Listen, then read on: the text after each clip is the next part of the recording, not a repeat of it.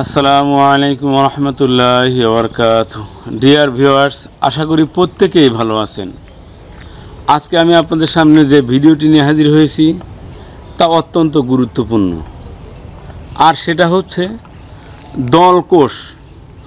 আমাদের আজকের আলোচ্য বিষয়, দলকোষের কাজ কি এবং এর দ্বারা আল্লাহ সোনতালা আমাদেরকে কি উপকার পৌঁছান।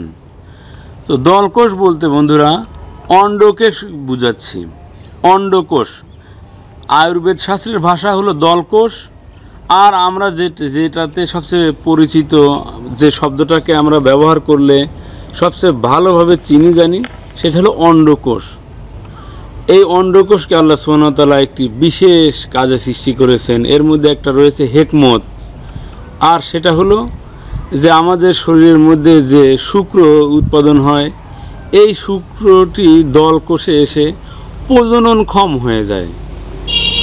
এতে করে পর্যাপ্ত পরিমাণে স্পাম উৎপাদন হয়। এর ফলে একজন ব্যক্তি প্রজননক্ষম হয়ে ওঠে এবং সে একজন সুস্থ এবং স্বাভাবিক পুরুষ হিসেবে পরিণত হয়।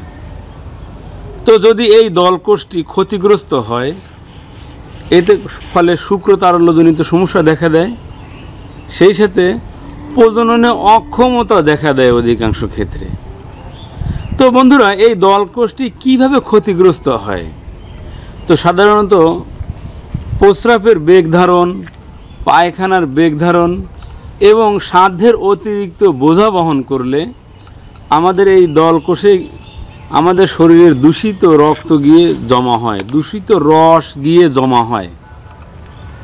তো দূষিত রস জমা হয়ে একটা সময় মাংসে পিণ্ডে পরিণত হয়। আর যখন মাংস পিণ্ডে পরিণত হয়, তখন সাধারণত এক পাশে গিয়ে জমা হওয়ার ফলে অন্ডকোষটি একটি বড় এবং একটি ছোট দেখা দেয়, যায়। অনেক সময় প্রচণ্ড পরিমাণে ব্যথা অনুভূত হয়। অন্ডকোষের এক পাশের শিরাগুলো মোটা হয়ে একদম মাংসপিণ্ডে পরিণত হয়ে যায়। তো এই ক্ষতিগ্রস্ত হওয়ার ফলে আমরা সাধারণত শুক্রতারল্যজনিত সমস্যায় ভুগি। এবং প্রজননে অক্ষমতায় ভুগি। তো আসুন আমি বলে দিচ্ছি যে কীভাবে এই অন্ডকোষের চিকিৎসা ভেষজ দ্বারা করবেন। তো একটি কথা না বললেই নয় বন্ধুরা, এটি সাধারণত এমন একটি ব্যাধি যা সহজে আরোগ্যযোগ্য নয়। সাধারণত অধিকাংশ ক্ষেত্রে অপারেশন করতে হয় এবং আন্ডারওয়্যার পরে থাকতে হয়। যখন এটা স্থিতিশীল হয়ে যায়, এরপরে হালকা হালকা চিকিৎসায় এটি আস্তে আস্তে উপশম হয়। তো ভেষজ পদ্ধতিতে কীভাবে এর চিকিৎসা করবেন আমি আপনাদেরকে এমনই একটি বৃক্ষের সাথে পরিচয় করে দিচ্ছি। আসুন বন্ধুরা, আপনাদেরকে সেই বৃক্ষের কাছে নিয়ে যাচ্ছি।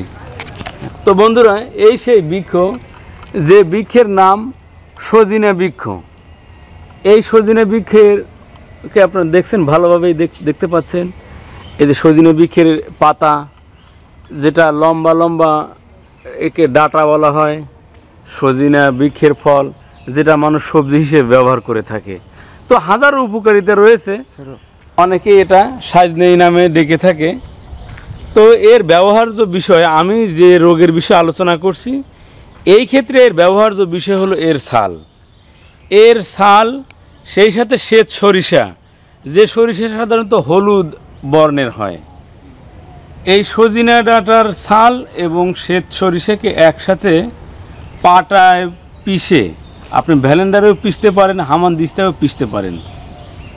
এইটার নিয়ে একটি কাত তৈরি করবেন বা মেথির মতো পেস্ট করে যদি আপনার অন্ডকোষে প্রলেপ দিতে থাকেন, তো ইনশাল্লাহ খুব দ্রুতই আপনার অন্ডকোষ আরোগ্য হয়ে যাবে। তো বন্ধু, তবে এই চিকিৎসা পদ্ধতি কিন্তু অবশ্যই একটু লম্বা এবং দীর্ঘ। আপনারা যদি হোমিও চিকিৎসা নেন, আপনাকে সে ডাক্তারও বলবে যে দুই চার ছয় মাস ব্যবহার করুন। তো আমি আপনাদেরকে বলব যে একটু ব্যবহার বা চিকিৎসা পদ্ধতি একটু দীর্ঘায়িত হবে, তবে ইনশাল্লাহ উপশম হবে। আজকে নিলে আজকেই সেরে যাবে, এরকম কথা চিকিৎসা শাস্ত্রে নেই। তো বন্ধুরা, কথা না বাড়ি এখানে শেষ করছি। আমি যে ফর্মুলায় আপনাদের, আপনাদেরকে ব্যবহার করতে বলেছি, এই ফর্মুলায় ব্যবহার করুন, সুস্থ থাকুন। ধন্যবাদ সবাইকে।